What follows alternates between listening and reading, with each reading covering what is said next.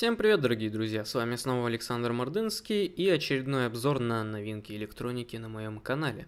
Усаживайтесь поудобнее, наливайте чаечек. Сегодня мы поговорим про новинки в мире VR, а именно о двух свеженьких камерах под названием Insta360. Начать хотелось бы, конечно, со старшей модели, которая именует себя как Insta360 4K Beta. Beta тут красуется и на упаковке, и на самом устройстве – Само устройство выполнено в виде пауэрбанка. Да-да, именно так. Она очень похожа и размерами, и весом на пауэрбанка от Xiaomi на 20 тысяч мАч. За небольшим исключением. Она выполнена в большинстве своем из алюминия. Алюминия со сверленными дырочками, с надписями Insta360. По функциональным клавишам и по виду самого устройства могу сказать, что оно выглядит очень интересно – напоминает собой небольшой алюминиевый кирпичик с двумя выпирающими сферическими линзами. По элементам управления на данном устройстве располагается. На верхней части мы можем наблюдать маленький экранчик, кнопку включения, блокировки, выключения и микрофон для записи аудио. На боковых гранях у нас располагаются сдвоенные кнопки управления назад-вперед, ими также можно управлять как зумом, или для переключения в меню различных элементов.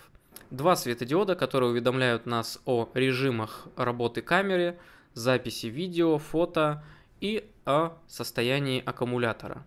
На нижней части уже все намного интересней.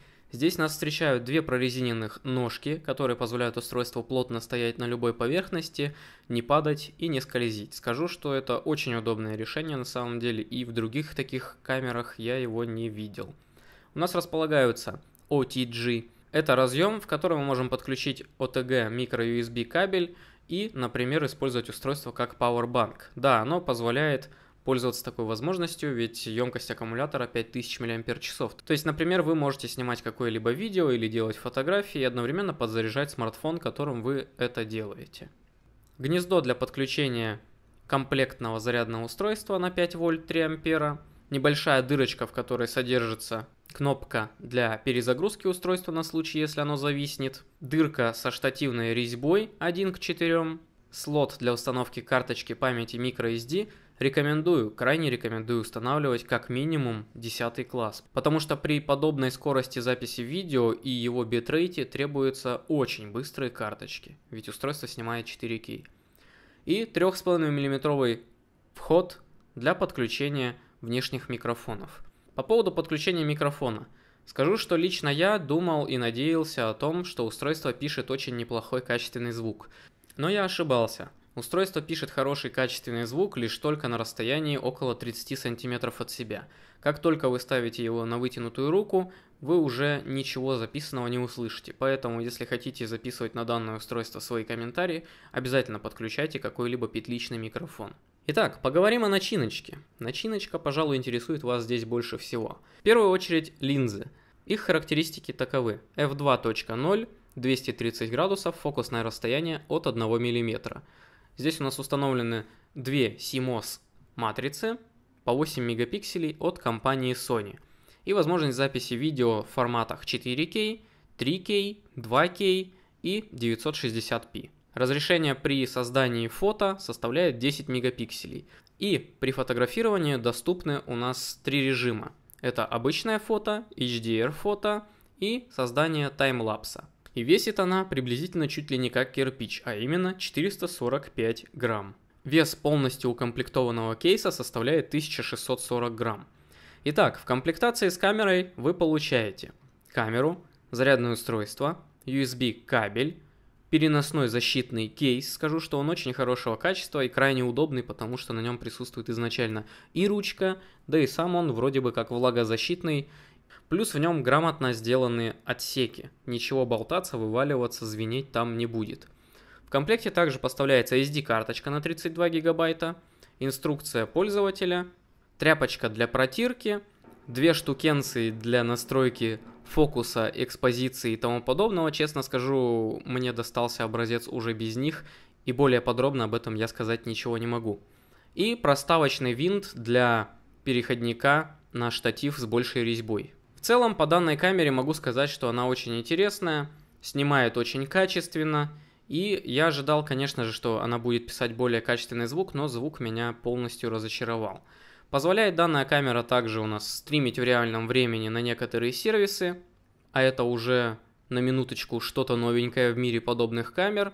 Ну и само приложение для управления камерой очень удобное, содержит в себе массу функций, массу настроек и работает без каких-либо лагов, без каких-либо тормозов на любом смартфоне. Устройство постоянно обновляется, на него выходят новые прошивки, и самое главное, то что видео экспортировать из него очень просто. Его нужно загнать в фирменную утилиту Insta360, выбрать качество выходного материала, и всего лишь остается загрузить его на YouTube. Все. Вы получаете полностью VR 360 градусное панорамное видео, которое можете смотреть при помощи Google Cardboard или Google Chrome браузера. Конечно же, не забудем и про маленькую версию камеры, которая так и называется Insta360 Nano. В первую очередь она казалась мне не самостоятельным устройством из-за того, что на ней присутствует порт Lighting и позиционирует она себя именно как камера для iPhone и Apple устройств. Но на самом деле оказалось все немножечко интересней.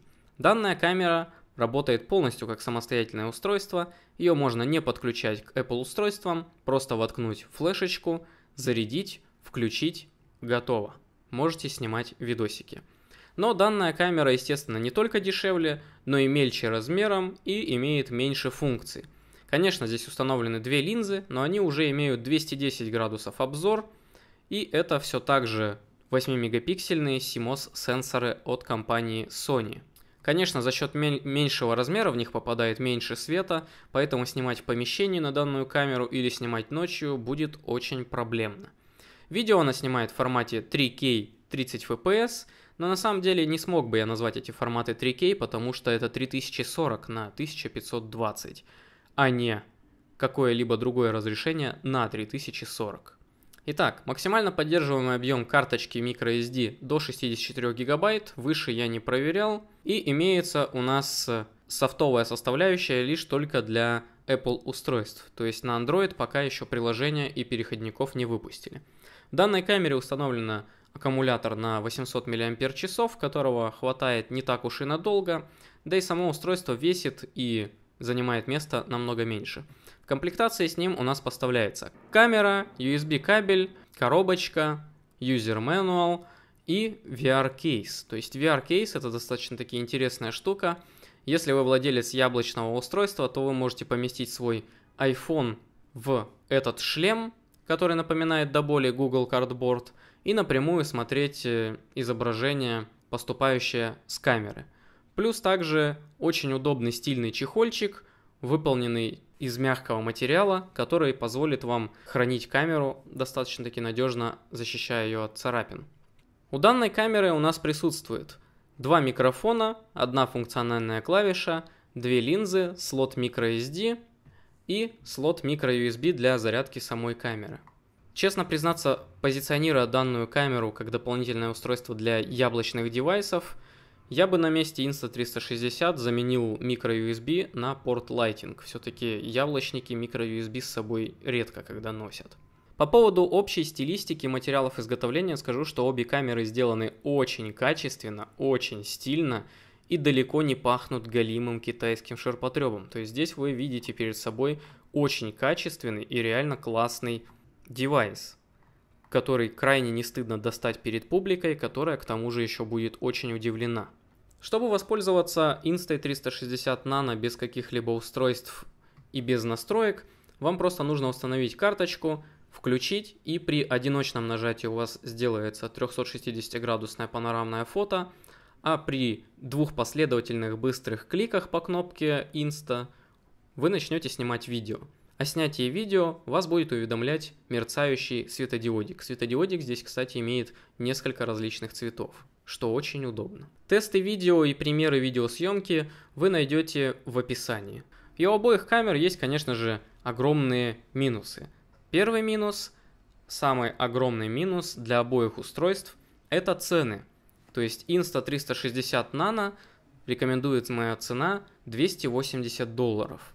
Insta 360 4K рекомендуемая цена 700 долларов. То есть не каждый человек может позволить себе такое устройство, и я думаю, не каждый человек найдет ему толковое применение. Так что, покупая данное устройство, вам нужно совершенно серьезно осознавать и свои бюджеты, и свои силы, и задачи, которые вы ставите перед данными девайсами. Ну и второй минус у обоих устройств это то, что они оба после даже небольшого непродолжительного использования очень сильно нагреваются. И несмотря на то, что у них алюминиевые корпуса, которые хорошо рассеивают тепло, в случае, если вы держите девайсы рукой, это очень сильно ощущается. Наиболее крутой нагрев у обоих девайсов ощущается в области линз, как раз таки в области оптики. Не знаю, с чем это связано, но хотелось бы надеяться, что это будет исправлено в дальнейших обновлениях ПО.